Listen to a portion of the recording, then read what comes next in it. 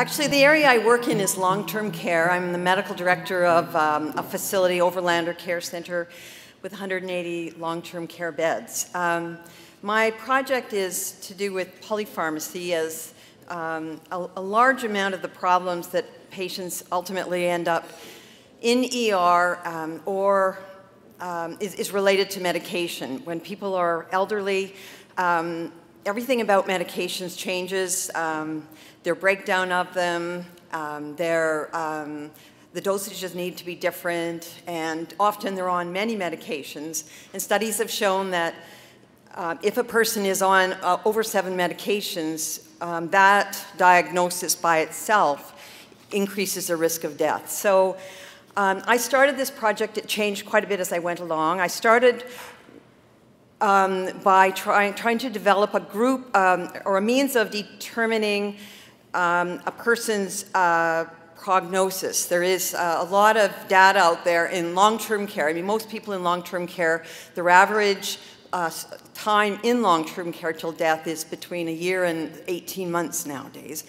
And um, there are good um, indicators uh, to know when a person has a lifespan of about six months. So initially my goal was to be able to identify these people and then have them um, um, means with which to have the medications that are for prolonging life, such as um, cholesterol medications or um, um, even Alzheimer's medications, and have these medications stopped because many of these medications are there to help somebody for something a year or more out when their prognosis is less than that.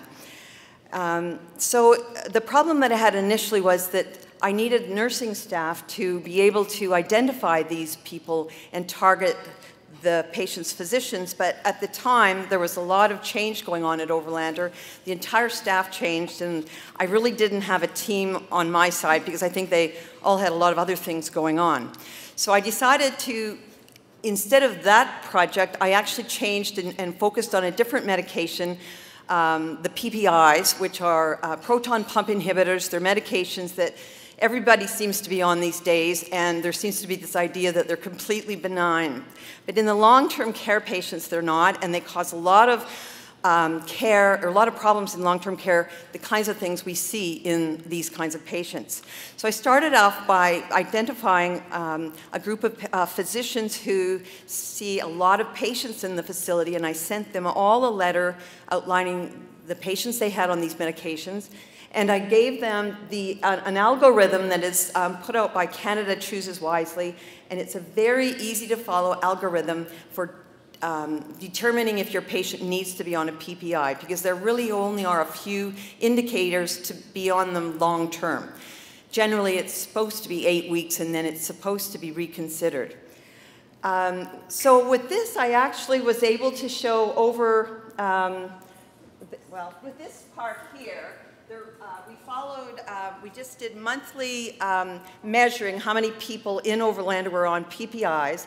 We followed that monthly, and there did seem to be a decrease, but when I reviewed the data with the pharmacist, um, I realized that there were new people coming into this all the time, new patients, and then there were other patients who were passing away, which is something that happens a lot. So the absolute data to show that the letter was making any difference was really hard to show. So what I, and I also found that a letter coming from me as the medical director might be perceived by physicians to be um, telling them how to practice. And so um, the pharmacists actually have a, a physician uh, review that they do at six weeks and then every six months, or quarterly actually, in the facility. And they send out a, a a list of medications and guidelines. And so what we decided to do was send this algorithm with every medrec that goes out um, so that the doctor gets the medrec or, and they get uh, the algorithm so that they can have guidelines there to help them determine whether to continue the P, PI or stop it. And so this part of the project we've really only just started. Um, so we've just, um, in the last month, we've sent out five of these letters. So, new part is just starting.